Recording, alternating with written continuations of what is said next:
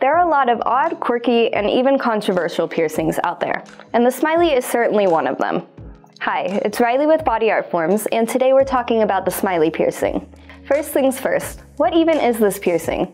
The smiley is a piercing that goes through the upper lip frenulum.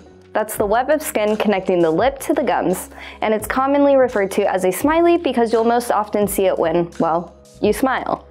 Some opt to pierce the bottom frenulum, and this is, as you might have guessed, often referred to as the frowny.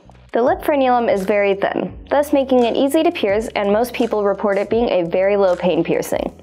And due to it being an oral piercing, the healing time is generally much shorter, averaging at around 1 to 2 months.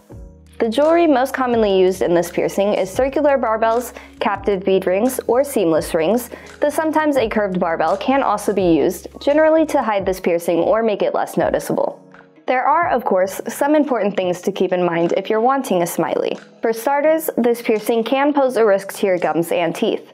Of course, all oral piercings can, but the smiley's risk is greater due to the piercing sitting and rubbing against your gums and teeth at all times. If you have a smiley or plan to get one, be sure to keep an eye on your oral health. And if you notice any gum erosion or teeth damage, you need to remove the piercing immediately to prevent further harm. Also, because the frenulum is so thin, this piercing is much more prone to migration, rejection, and sometimes even tearing. This can be especially hazardous for oral piercings, as it could mean accidentally swallowing your jewelry, especially if that full rejection happens when you're asleep. Due to these facts, this piercing is highly debated and contested amongst many piercers and body mod enthusiasts. What are your thoughts? Have you ever had this piercing? Were you thinking about getting one? Let us know, and while you're here, please remember to like the video and follow us on our socials at Body Art Forms. Bye!